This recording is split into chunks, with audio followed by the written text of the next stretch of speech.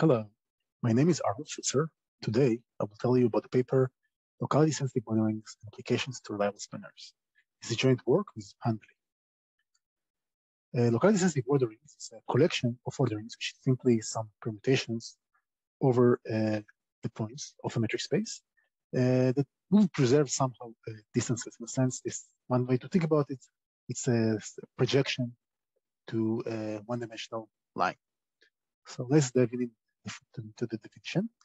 Uh, given the metric space X, a collection sigma of orderings is tau rho LSO, which is abbreviation of locality sensitive orderings, if the number of orderings here is at most tau, and for every pair of points x and y, they appear somewhere in each ordering, there is special ordering sigma such that uh, without loss of generality, x comes before y, and the points between x and y in the orderings sigma could be partitioned into a prefix and a suffix such that all the points in the prefix will be a very small ball around x, and all the points in the suffix will be a very small ball around y. So all the points here between x and y are very close to one of them. And how close? So we have this parameter rho. So all the points in this prefix will be a distance, most rho times distance between x and y. Uh, well, this is the radius. Yeah, so these partitions, all the points are two very small balls. Uh, Chandler, and Jones showed that uh, for every collection of points in the d-dimensional William space, one can construct an epsilon to the minus d, epsilon LSO. So the number of orderings is exponential in dimension, and this epsilon is very small. Uh, they showed a bunch of applications uh, to this uh, LSOs. So one application was dynamic approximation nearest neighbor search. So one can easily see that uh, if you have a point and you have all these orderings, you can check the neighbor to the right, to the left, and find an approximation to your nearest neighbor. And they show that you also can maintain dynamically these LSOs. And they show some other applications, uh, bichromatic pair, uh, dynamic spanners, and uh, tolerant uh, spanners. And uh, most relevant today that we will discuss later, uh, Buchin, Har-Peled, and Olah show that one can use LSOs to construct reliable spanners. Uh, so in the rest of the talk, we'll discuss uh, LSOs and doubling metrics. Then we'll discuss its applications to reliable spanners. And uh, lastly, we'll discuss left-sided LSOs, which is a different type of LSOs. So a doubling metric is some generalization of the Euclidean dimension. And we say that the metric space has doubling dimension D if every ball of radius r, like this red ball here, can be covered by at most 2 to the d balls of half the radius. So we have seven balls here. And indeed, this is generalization, as every d-dimensional Euclidean space has doubling dimension asymptotically d. Uh, yeah. Uh, Chan, Har-Peled, and Jones in uh, their seminal paper showed that every metric space with doubling dimension d admits an uh, LSOs with uh, epsilon log n to the d uh, permutations and uh, parameters here.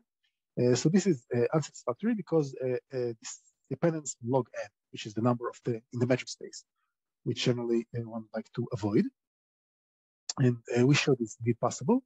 And uh, in fact, we showed that every metric space, if dimension D, admits an epsilon to the uh, D, epsilon LSO. So this is uh, essentially uh, very similar to what they have. And uh, to construct uh, this, we used what is called hierarchical well separated trees or HSTs. so here, uh, metric space is called an, HST. If you can map all the points in the metric space into the leaves of rooted tree T, so here is the rooted tree T, and this is uh, the leaves, which are uh, the points of our metric space are mapped into, and each internal node here has some label. Uh, so here is LA, LB, and these labels are monotone. That is LI, small LD, small LB, small LA, etc. And the distance between two points uh, will be simply the least common ancestor of the two leaves they're associated with. So here, the distance between uh, V4 and say V3 will be this uh, uh, label of this uh, node D, LD, and the distance between V5 and V6 will be the label of uh, LB. This is an HST, and the KHST, it's an HST with an additional requirement that the gap between any two uh, son and father uh, nodes in the labels will be at least k. Yes, so LD should be at least k times smaller than LB, which in part will be also at least k times larger than LB, and etc. Uh, so these are very structured uh, metric spaces, even more structured than trees. And uh, in fact, one can construct a k HST. I mean, given k HST with maximum degree delta, one can construct a, delta over 2, 1 over k LSO. So this is delta over 2 orderings, and uh, the radius of the ball will be a k fraction distance between the two points. So we'll discuss how uh, one can construct this, but we use the structure of the HST. And to obtain an uh, LSOs for double metrics, we use this idea of uh, HST coverage. In a sense, the idea is that uh, you take a double metric, you take a bunch of uh, HSTs, uh, such that every distance in the doubling metric is approximated by one of these HSTs. And then you will construct an LSO uh, for each HST and take the union, and this union will be an LSO for the doubling metric. So formally, uh, we have four parameters here, tau, tau, rho, k, and delta, HST cover of a metric space X is a collection of tau. So here we have some this metric space, you have a collection of tau HSTs, each one of them is a k HST, all of maximum degree delta. And here's the most interesting parameter, rho. We, the, we have the guarantee that for every pair of points x and y, uh, the rule is some matrix one some HST such that the distance between them in the HST will be at most rho times larger than the original distance. So in a sense, all this HST will be dominating. I mean, if you look on this pair XY, in every HST, the distance between them will be at least as large as the original distance. And at least one of them, the distance will be only rho times larger. And uh, indeed, for uh, double metrics, one can construct uh, HST cover when the number of HSTs is epsilon to the d, and the stretch here rho is very small, 1 plus epsilon. Uh, the k here is just 1 over epsilon, and the maximum degree is again epsilon to the minus d. Uh, so, yeah. And now using this uh, HST cover, uh, because each KHST admits an LSO, uh, we just construct, as I said, LSO for each HST, take the union, and we obtain an uh, LSO for the doubling matrix. And the parameters here are like small, so uh, the number of uh, orderings will be just epsilon minus d, and we have these LSOs. So just to say a couple of words about how we construct the HST cover.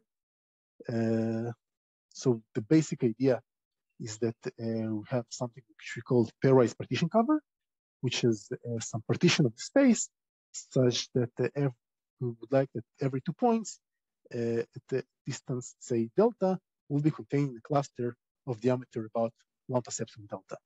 So this, of course, impossible one partition, but we show that given like epsilon to minus d partitions, this is possible uh, to obtain for every pair of points.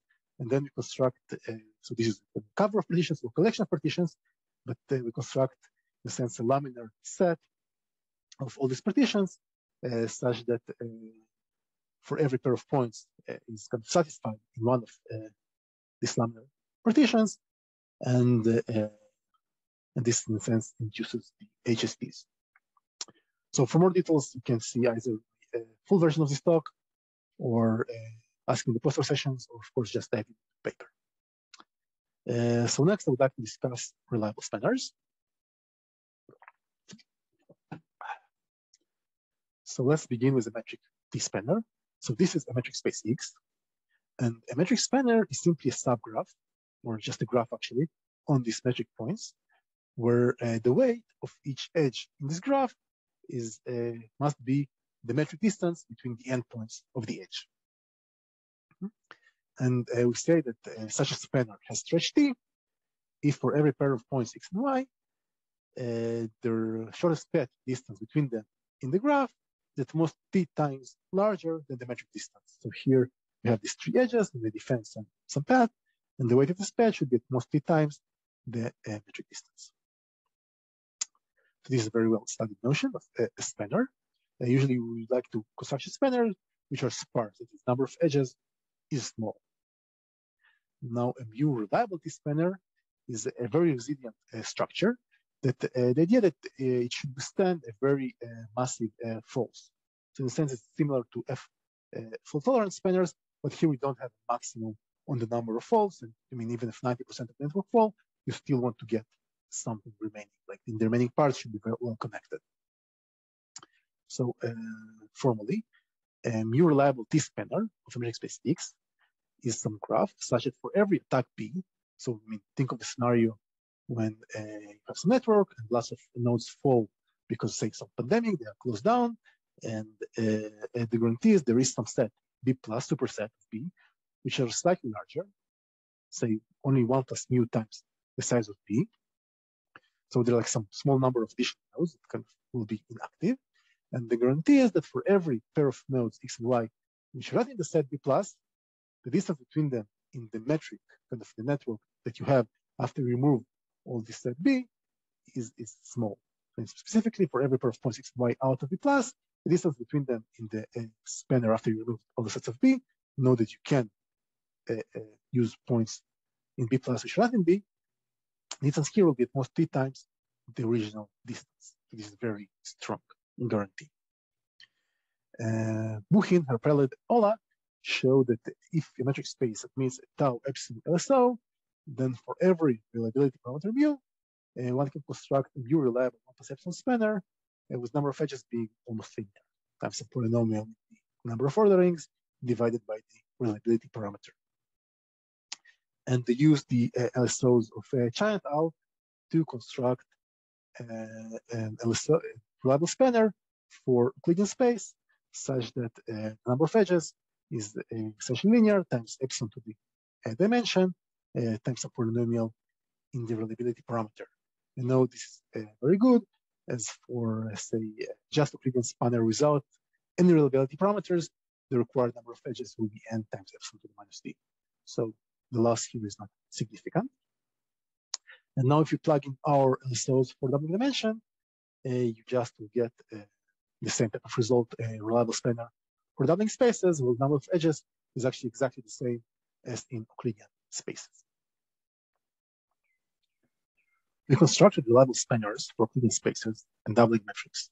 But what about other spaces? Unfortunately, Har-Peled and Olah showed it's hard. And specifically, even for the very basic uniform metric, where all the distances are just one, they show that every new reliable T-spanner must have at least n to the 1 plus 1 over t edges, which is polynomial for every t smaller than log n. That is, to get linear number of edges, one must have stretch log n. I know that uniform metric is also like even trees, HSTs are all can present uniform metric because the metric induced on the list here of this star is just uniform. So to overcome uh, this roadblock, they uh, introduced, actually it was introduced by Buchin, uh, and this notion of oblivious mu reliable T-spanner, which is a relaxation of the notions of reliable spanner, uh, when the guarantee is instead of having a worst case uh, over all the B's, we get some distribution over spanners, and the size of B plus will be bounded only in expectation. So formally, an oblivious mu reliable T-spanner is a distribution D over spanner's H, such that for every attack P, there will be a set B plus H superset, which is a, notice a function of both the attack B and the spanner H sampled from the distribution, such that in expectation, the size of B plus H for every B will be at most 1 plus mu times the size of B. And uh, the stretch guarantee will be a worst case. For every spanner in the support and every pair of points x, y out of the set B plus H, the distance between them in the spanner, once you remove the set B, will be at most t times the original metric space, the original distance. And uh, and Olah showed that uh, for trees, for example, uh, you can construct oblivious mu reliable tree epsilon spanner with number of edges being essentially linear times uh, this uh, log square phi, where phi is the aspect ratio, which is the, the, the, ratio between the maximum to the minimum distances in the metric space. So this is somewhat a caveat because the aspect ratio a priori is unbounded. So this is to be avoided. Uh, what about this triple epsilon? So one observation is that for every stretch parameter smaller than two, every t-spanner of the uniform metric must have quadratic number of edges, even without any reliability requirements. And this is just because for every pair of points here, you must have an edge. Because if you don't have an edge, you will go to other edge, to other vertex, and you will get distortion at least two. Yeah. So getting below two requires quadratic number of edges, but they show three plus epsilon. So there's a gap between the lower bound of two to the upper bound of three plus epsilon. Uh, the construction of Har-Peled owl was based on uh, sparse covers. In a sense, it's the idea of uh, they reduced the problem of constructing a spanner from geometrics to just uniform metrics. And uh, our idea here is to go through LSOs, which in a sense reducing instead of into uniform metrics, reducing to lines, which are more structured and you can construct better uh, uh, spanners. Uh, however, the problem is that unclear how to use the original definition of LSO for uniform metric, for example. You cannot get like epsilon both. And therefore, we come up with this new notion of left-sided LSO, which is uh, somewhat different. So uh, tau rho left-sided LSO is a collection sigma of partial orderings. So originally in LSO, we have orderings over all the metric points, while here we'll have only partial orderings, such that each point could participate only in the subset of the orderings. And this uh, collection of partial orderings is tau rho left-sided LSO if each point x belongs only to tau orderings. So this point x could participate in a subset of most tau orderings. And for every pair of points x and y, there will be some special ordering uh, such that both participate in the ordering. And for every pair of points x prime and y prime, which come in the order before x and y, so x prime comes before x, y prime comes before y, the distance between them in the metric space will be at most rho times the distance between x and y. And all y can be also to the left here. Uh, so before I explain why this definition is useful, let's just uh, show that you can construct them. And specifically, uh, we will show that uh, every tree admits a log n1 left-sided LSO. And the construction is very simple. So you take a tree, you find a separator, which is a vertex if you remove it, every connected component will be of size at most half n. And you construct an ordering where the uh, place in the order will be respect to distances from the separator. So uh, first comes separator, then V2 will be a closed vertex to the separator, V3 is the second closed, and the last one will be the farthest vertex from the separator. So this is the first ordering. Now you delete the separator and, and find the separators in each connected component, construct orderings with respect to them, so three different orderings here. Then you remove the separators, remove the singletons, and continue. So this will be the entire uh, set of orderings. So one can observe that each order, uh, each vertex will belong to at most log n orderings because the size of each connected component halves each time it participates in orderings. And let's see that we have also the uh, uh, stretch guarantee. So consider a pair of points x and y, and let v be the unique and first vertex uh, separator lies lying on their shortest unique paths, actually. Uh, and consider the ordering constructed with respect to this separator. And take every pair of points x prime and y prime to the left of x and y on this uh, separator, sorry, on this ordering. So now x prime comes before x, so the distance between x prime to the separator is smaller than distance between x to the separator. Same comes for y prime. And therefore, the distance between x prime and y prime uh, if you go through the separator will be smaller than distance between x and y if you go through the separator, but this is actually distance between x and y, so we get our promise. Okay, so we finished proving this uh, theorem. And now uh, uh, let me explain how we can use this uh, left-sided LSO to construct uh, reliable spanners. So the idea basically when we construct uh, spanners is that we reduce our problem to the line, and now we want to construct a spanner for the line graph. However, in this case of left-sided LSO, constructing a usual spanner will be uh, useless. And instead, we construct what we call a left-sided spanner.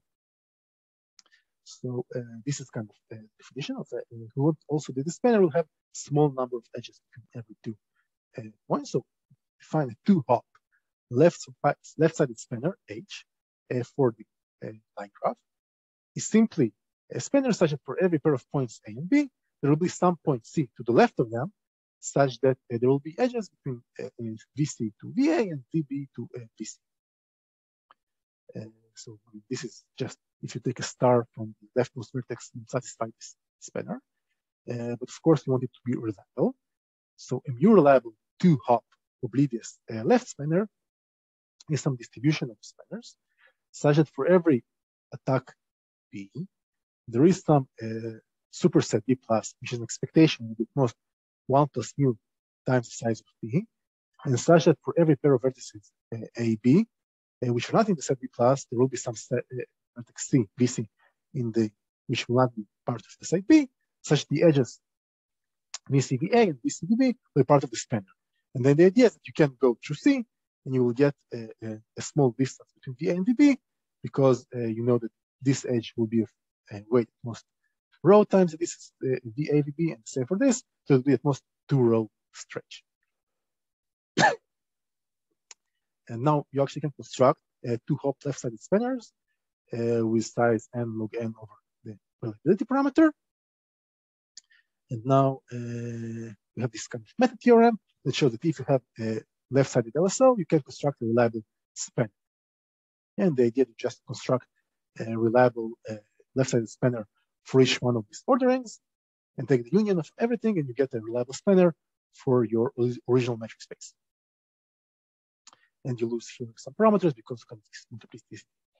So specifically, we show that uh, given a metric space X that admits a tau row left-sided LSO, uh, you can construct an oblivious reliable two row spanner for a number of edges will be n times tau squared divided by mu, the reliability parameter. And this is the number of uh, orderings each vertex participates in. But now, uh, given that uh, each tree admits log n1 left-sided LSO, uh, we can construct, and we conclude that every tree admits an oblivious more reliable two spanner with a number of edges being linear times the reliability parameter. Uh, so now this is tight because you cannot go below two. Uh, yeah, every spanner with stretch smaller than two must have ends for edges. And this is improved over the three plus epsilon threshold for allowed. And also we remove the dependence on the aspect ratio. Yeah, so this is about these left-sided spanners. Uh, we also constructed left-sided uh, LSOs for uh, asymmetric spaces like planar graph, planar free graphs, trivial graphs with similar uh, number of orderings. And they all uh, imply reliable spanners improving previous results and getting almost uh, tight. So that's it. Let me conclude with some uh, open problems. So uh, the first, I guess, uh, most interesting open problem is about uh, deterministic reliable spanners for uh, general metrics. So Har-Peled and al. constructed a deterministic reliable t-square spanner with number of edges being, so this is the important parameter, n to the 1 plus 1 over t. And the only lower bound is that uh, for stretch t, one must have n to the 1 plus 1 over t edges. So this is true even for general, general spanners without any reliability uh, requirements. And the question is, could we close the gap between t and uh, t squared? And so t squared is the upper bound, t is the lower bound, and what is the right number that we can get? What is the right stretch you can get if you want to use n to the 1 plus 1 over t edges? Another question is about planar graphs. So uh, in this work, we show that uh, every planar metric admits a new reliable 2 plus epsilon spanner with essentially linear number of edges. So we know from these uh, uniform examples that uh, for every t smaller than 2, one must have n square edges. And it's uh, interesting to understand if you can get all the way to 2, like you get in trees. Or when you go closer to 2, the number of edges goes uh, higher. Yeah, so this is the open question. Close the gap between 2 and 2 plus epsilon. And finally, uh, the, most significant question and the homework that leave you is to find more applications for this uh, new and cool uh, tool of uh, locality sensitive ordering. That's it. Bye.